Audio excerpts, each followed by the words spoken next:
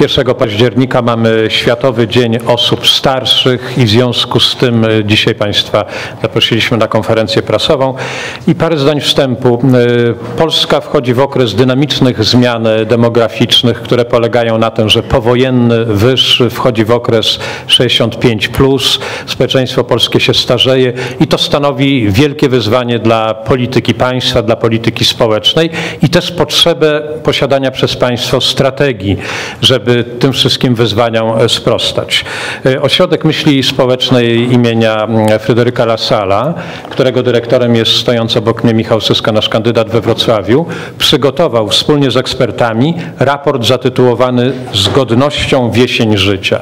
Raport zawiera diagnozę sytuacji oraz rekomendacje, co w polityce państwa należy zrobić. Chcę powiedzieć, że to jest raport, który można porównać z raportem dotyczącym e, młodego pokolenia, który przedstawił Michał Boni. Ośrodek Myśli Społecznej we Wrocławiu, którym kieruje Michał Syska, opracował takie raporty dotyczące różnych dziedzin życia, także sytuacji młodych, no ale dzisiaj zbliżamy się do 1 października, Dnia Seniora i w związku z tym ten raport dotyczącej polityki państwa e, w, no, w zakresie potrzeb osób starszych.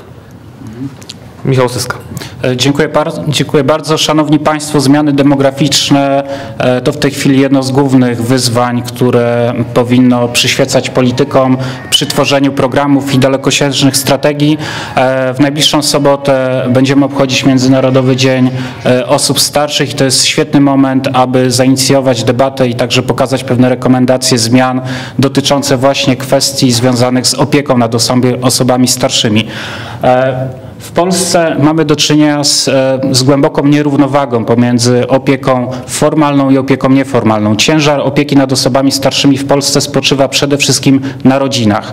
E, Sojusz Lewicy Demokratycznej rekomenduje, czy traktuje jako priorytet e, zwiększenie równowagi pomiędzy tym wymiarem formalnym i wymiarem nieformalnym. Znaczy chcemy, aby władze publiczne, aby instytucje państwowe, instytucje społeczne, sektor pozarządowy był bardziej reprezentowany w sektorze, w sektorze opieki nad osobami starszymi, a wiąże się to e, z przemianą instytucji rodziny. Otóż e, w tej chwili Jesteśmy świadkami e, zmiany instytucji rodziny. Mamy do czynienia z nową kulturą singli, ze spadkiem dzietności, z powolnym zanikiem instytucji rodziny wielopokoleniowej. Więc jednocześnie e, instytucja rodziny będzie miała coraz mniejsze możliwości opieki nad osobami starszymi, a tych osób starszych będzie ciągle przybywać. Dlatego chcemy e, zwiększać środki na, na opiekę nad osobami starszymi.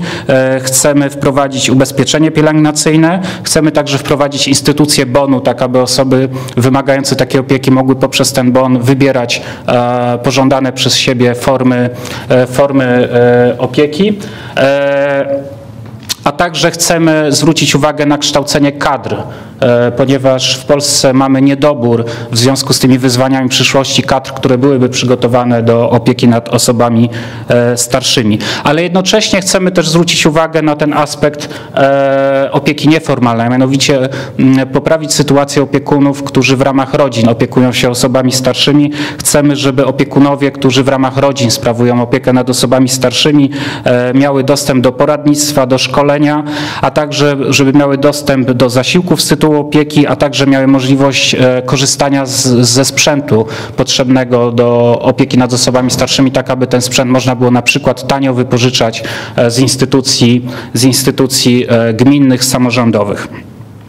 I wreszcie, e, i to jest jakby taki drugi główny priorytet, jeśli chodzi o politykę e, społeczną, o, ochronę nad osobami starszymi, chcemy rozwijać opiekę środowiskową, czyli opiekę nad osobami starszymi w miejscu ich zamieszkania.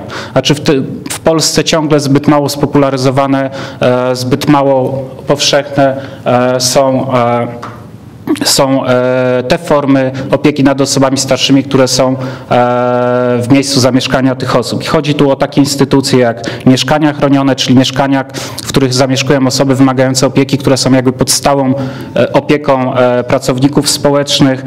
To wreszcie dzienne domy pomocy społecznej, ale to także dostosowanie mieszkań i budynków użyteczności publicznej do, mm, do, do wymagań osób niesamodzielnych, osób, które, które e, są niepełnosprawne i to także walka z wykluczeniem cyfrowym, e, cyfrowym starszego pokolenia. E, To między innymi uniwersytety trzeciego wieku, które mm, w tej chwili w wielu miastach funkcjonują, ale mają charakter głównie wykładowy. Chcemy, aby one się rozwijały także w kierunku interaktywnych warsztatów, tak aby na przykład walczyć z wykluczeniem cyfrowym.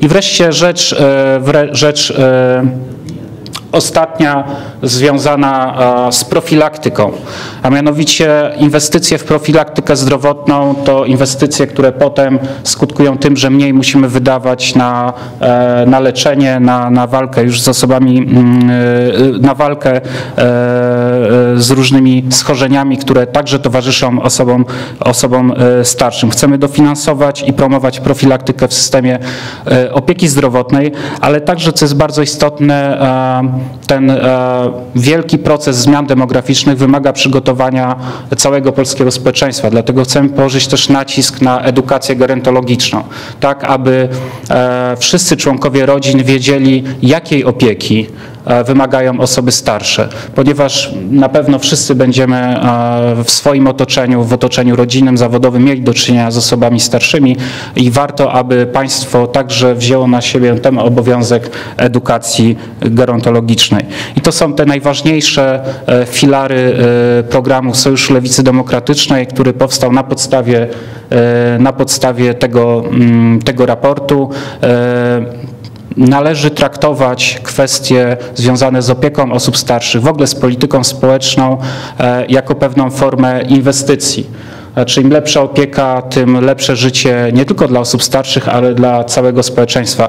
Lepsze wsparcie dla opiekunów e, rodzinnych, którzy funkcjonują e, w obrębie rodzin, to także ich zwiększenie szansy na rynku, na rynku pracy, ponieważ wiele osób, które już w tej chwili opiekują się osobami starszymi w ramach rodzin, ma problem z godzeniem tej opieki z życiem zawodowym. E, Często to się też wiąże z dużym obciążeniem psychicznym i fizycznym. Dlatego e, kwestie związane z opieką nad ludźmi starszymi to wyzwanie wręcz cywilizacyjne, e, a nakłady kierowane i wysiłki państwa na ten cel należy traktować jako taką promodernizacyjną inwestycję i potrzebę e, chwili. Dziękuję za uwagę.